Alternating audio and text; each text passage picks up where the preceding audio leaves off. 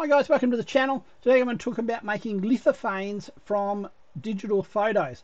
So I'm going to make a plastic little picture um, from a normal everyday digital photo you take on your phone and then you can display it on your counters and stuff. So um, I'm going to go through exactly how to do it and the best settings that I find to use for it.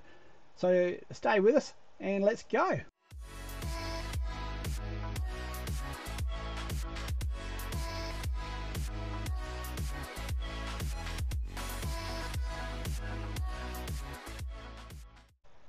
Okay guys, let's just get straight into it and go through how to how we start off. We start off with a photo, so let's go and get into that. Okay, so once you've got the photo that you want to make into a lithophane, try and keep it a reasonably high quality because the, the better quality you've got the photo, the better lithophane's going to turn out. But so once you've found it, right click on it in Windows anyway, go open with and go down to photos.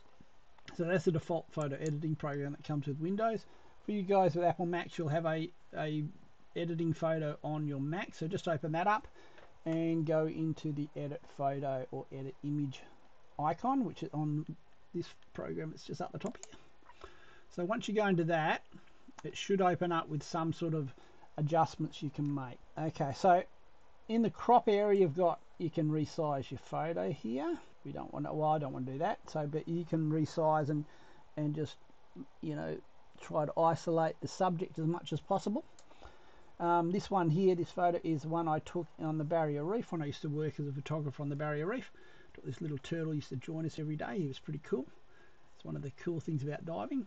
Anyway, um, under filter, don't be tempted to go and do black and white. So this is very similar to the sort of stuff you get in Instagram for those people that use Instagram. Black and white, it tends to wash out the, the, the greys a bit and sort of whiten them up too much and it whitens up the background. We don't want to do that. We want to make the biggest contrast with the photo. Still looking good between our subject and our background.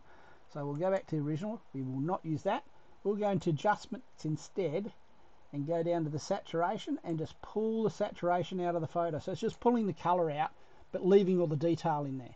Where the other one sort of made the background lighter, made the turtle lighter. This does nothing to it except take the color away. Okay, you can see there's better detail in that turtle.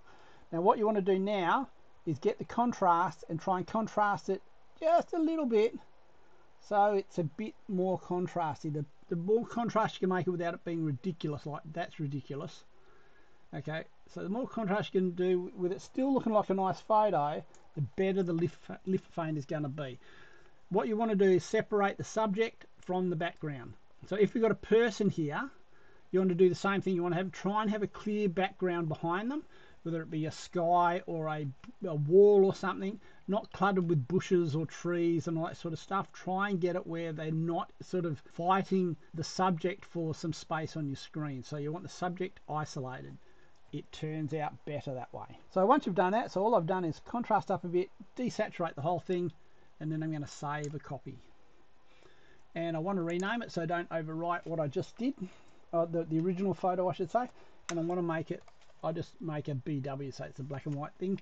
Pick whichever folder you want to put it in. I'm just going to chuck it on the desktop and save. So that's all you need to do in the graphic editing side of things. Okay so once you've done that you need to go into your web browser and open up this site 3dp.rocks forward slash forward slash lithophane. I will link this in the description down below for those that want to go and have a look this I found is the easiest and most reliable one to use. Um, what you're doing here is you pick images and from the images you go and grab the photo you've got on here.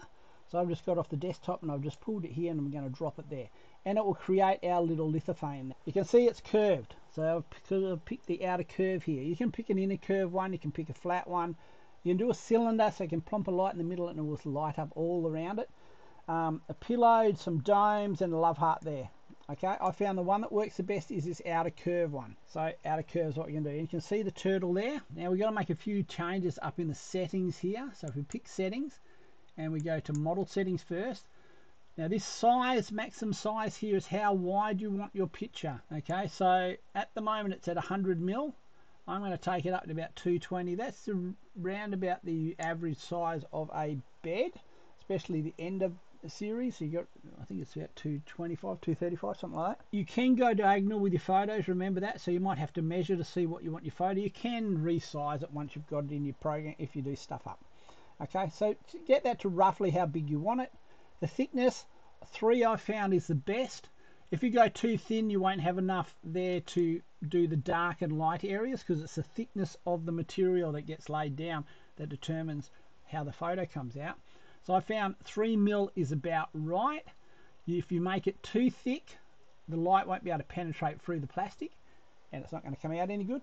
So I found 3 works good. You've got um, the size of your lithophane there. The border, if you want to put a border around the whole photo, you can do that here. I tend to leave everything as default down there. The other thing you need to do is go into image settings now you need to make sure this is a positive image, not a negative. It's got to be positive. Okay, and that's the only thing I change on this slide. I don't do anything else here. And that's pretty much it. So we've done all we've changed is those top two, the model and the image setting. If you wanted to download, you can go in your download thing and tell it where to download and all that sort of stuff. But leave I leave everything as default.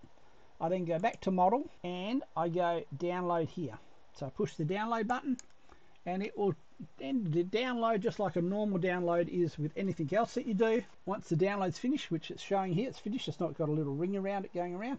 I click on the download, come over to where it is, I right click on that, on the picture, and I go show in folder. And it will show my little picture in the folder here. Now from that, I'm going to drag that and dump that on the desktop you can leave it where it is if you, if you like navigating through but I, I like to just have everything sitting on the desktop. It's easier for me then I put everything away when I've finished. Okay now what you want to do is open up Cura. Then from Cura you want to pull in your STL you just drag to the desktop and dump it in Cura. Now you can see it it hasn't taken up all the bed plate. I'm not sure why that didn't work but anyway it doesn't matter because what I can do is I can come into this second tab here and basically I'm changing the size of it. So in any other browser you're looking for this resizing option and I'm going to like oh no let's see 400 times. Is that going to make it too big? Oh way too big see? Now I'll make it 200 and look at that that fits in. And if I want to curve it I'll just you know just move it around if I need to move it around I'll come down to this icon. I can look at it at the top and I can see I've got heaps of room there if I wanted to go crossways, I could probably go another another hundred if I really wanted to. One other thing, do not get tempted to lay this flat. You need to print it standing up. Okay, so if, if you do any of the flat ones, stand it up. Do not do not print them laying flat.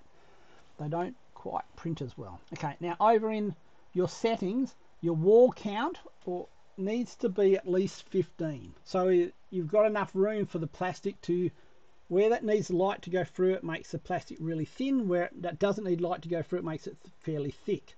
So you can imagine it needs some room to to maneuver to make the thing. You can make that 15 and then I make the infill 10 or you can make this 2 and make the infill 100. It doesn't really matter, it does the same sort of thing. I find this uses the less filament. If I make more walls and less infill, it doesn't completely chocker it up. It doesn't need to. It just needs to have the walls to do it. If you do 100% infill, you're just using filament you don't need to use. Okay, but it's up to you though.